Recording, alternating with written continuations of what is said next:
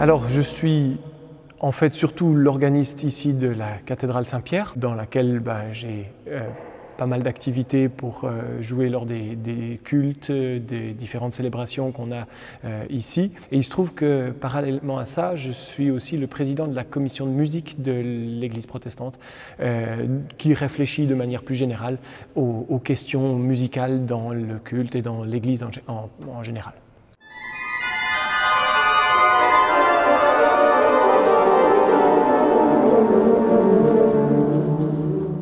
La musique, on s'en rend très vite compte, touche les gens beaucoup.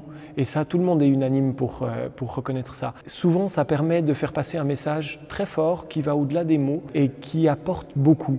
Pour beaucoup de gens, notamment des gens des fois qui sont plus loin de l'Église, euh, c'est aussi une manière de se rattacher à une forme de spiritualité. La musique apporte cette chose un peu... Euh, inexplicable ou un peu euh, qui nous dépasse.